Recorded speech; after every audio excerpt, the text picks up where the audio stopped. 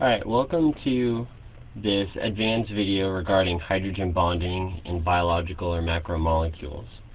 So, hydrogen bonds are incredibly critical in how many molecules work within living systems.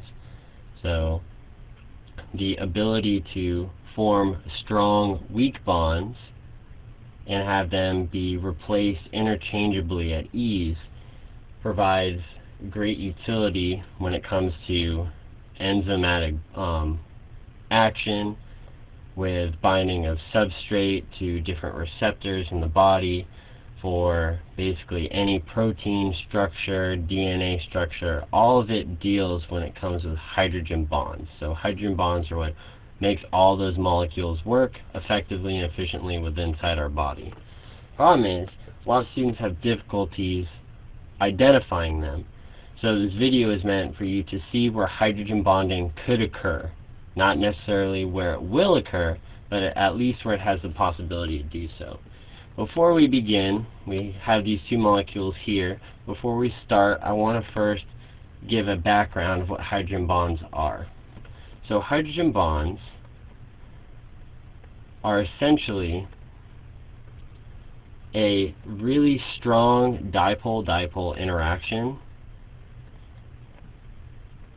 that occurs when a hydrogen bond, or excuse me, a hydrogen, is covalently bonded to a very electronegative atom.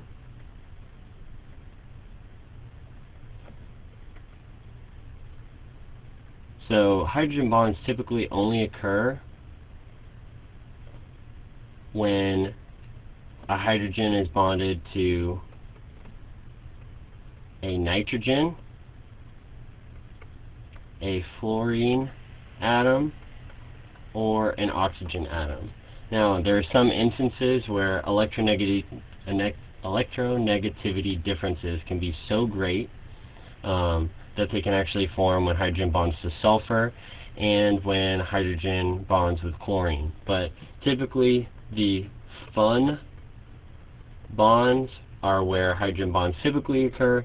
And if you remember, fluorine typically doesn't occur in organic molecules, so we see it primarily in oxygen and nitrogen bonded to hydrogens. So, again, let's go back to some old chemistry. Fluorine typically only forms one bond. So when fluorine bonds to hydrogen, that's what we have.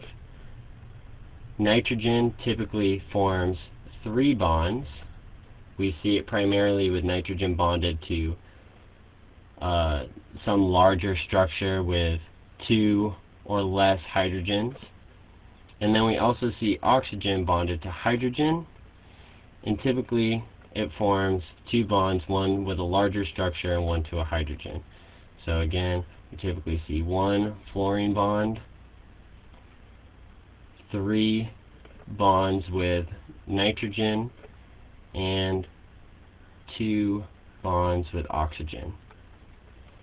Now also, remember that every bond is a sharing of a pair of electrons. So in this case, this bond is two electrons. These three bonds deal with three electrons. And these two bonds at the bottom deal with four total electrons. And we always are trying to complete an octet, or a pairing of eight total electrons in the valence shell of each of these three electronegative atoms. So those leftover electrons orbit around each of these atoms in what's known as lone pairs. So typically they're done with these little balloon structures. And oxygen has two of its own.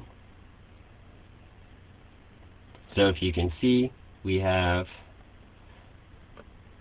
four lone pair electrons, two lone pair electrons, and six lone pair electrons. So in this case, we have 2 plus 6 equals 8, 2 plus 6 equals 8, and 4 plus 4 equals 8. So what happens is when a hydrogen is bonded to an electronegative atom, that element wants to draw the electrons more towards the electronegative element and leave hydrogen all alone. So what's going to happen in, let's say, an oxygen bond, all the electrons are going to want to go towards the oxygen, and it's going to leave the hydrogen partially positive. So we denote it with a delta sign, that's going to leave this with a slight negative. This is where the dipole comes in. We have di meaning two, two poles, one slightly negative, one slightly positive.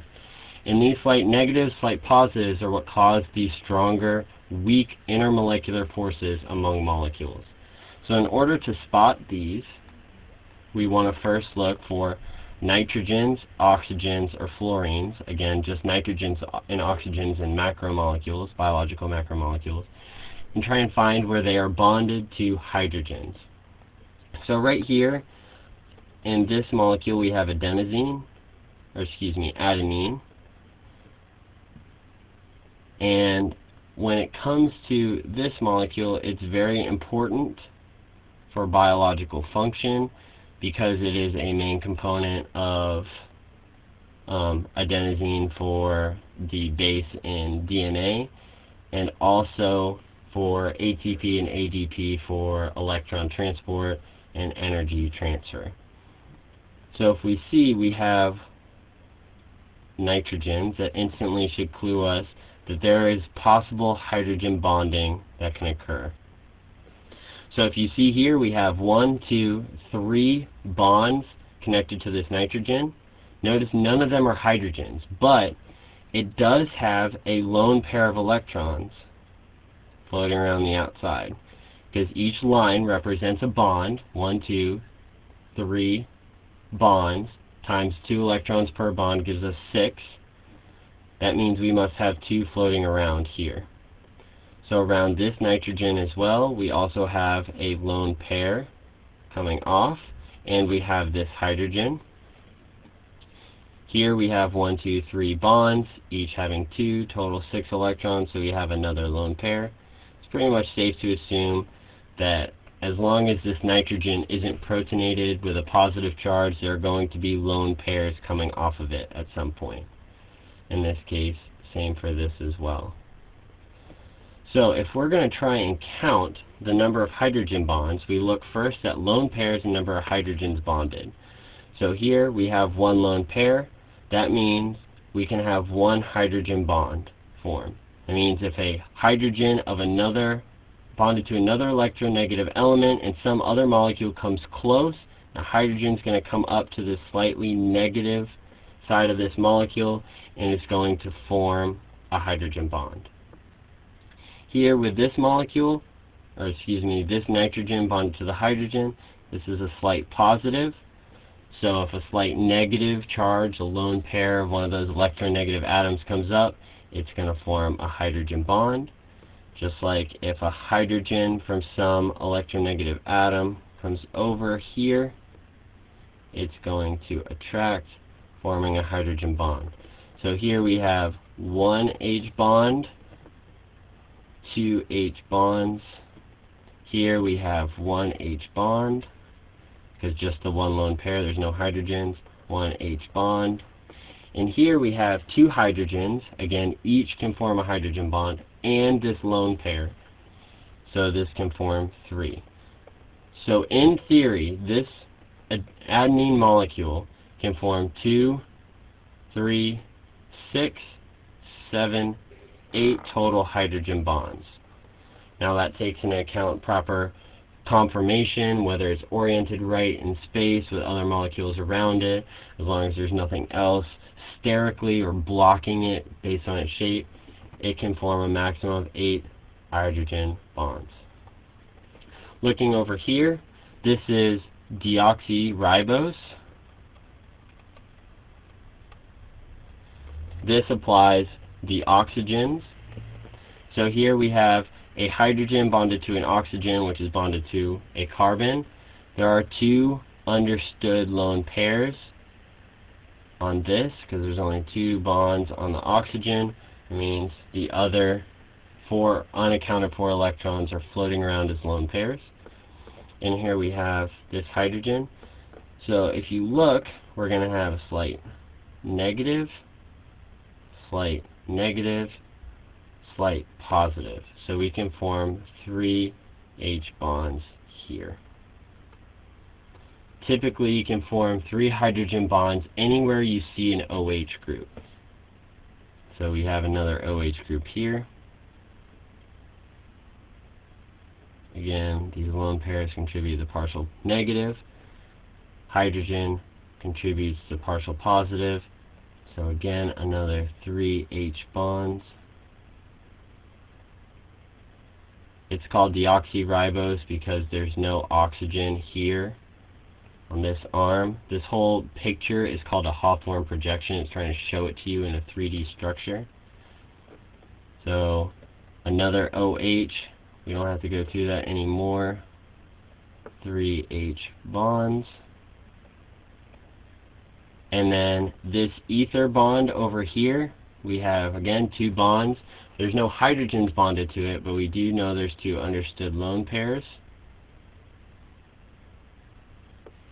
So this can form a total of two H bonds. So in theory, this deoxyribose can form 3, 6, 9, 11 total H bonds. So I apologize for the clutter. This is just meant to enforce that hydrogen bonds are a special kind of dipole-dipole interactions when hydrogen is electro is covalently bonded to an electronegative atom, primarily nitrogen and oxygen. And when you have that buildup of partial positive and partial negative, the two can come together to form a strong, weak intermolecular force, stronger than all the other types and spotting it with inside these biological macromolecules is really important to understand how these molecules interact with other structures within inside the body. So I apologize, this video went way longer than I meant to, and there's a lot more on the screen, but this is a very useful skill when it comes to understanding biochemistry, biology, anatomy and physiology, especially cellular signaling, um, and organic chemistry. So I hope you find it helpful.